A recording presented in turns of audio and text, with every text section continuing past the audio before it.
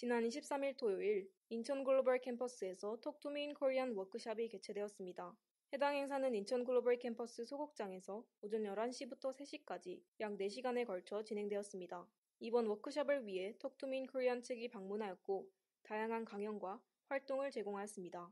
톡투미인 코리안은 한국어를 배우려는 언어 애호가들을 위한 등불 역할을 하는 기관으로 다양한 언어 교환은 물론이며 효과적인 커리큘럼을 바탕으로 전 세계적으로 언어 학습에 도움을 주고 있습니다. 이번 워크숍의 주제는 Korean for Everyone이었으며 언어 학습에 대한 동기부여를 유지하고 문화를 탐험하자라는 취지를 가지고 진행되었습니다. 전체 행사는 4개의 섹션으로 나뉘어 진행되었으며 11시부터 12시까지 Korean for Everyone이라는 주제를 바탕으로 한 강연이 진행되었습니다. 이후 약 1시간가량의 점심시간을 가진 후 한국어를 배우는 것에 대한 질의응답 시간을 가졌습니다.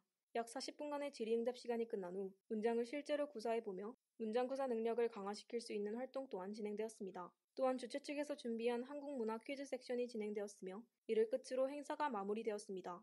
해당 행사는 한국어와 한국 문화에 대해 관심이 많은 외국인 학생들은 물론이며 교수진들에게도 좋은 기회가 된 것으로 보입니다. IBS 최유진입니다.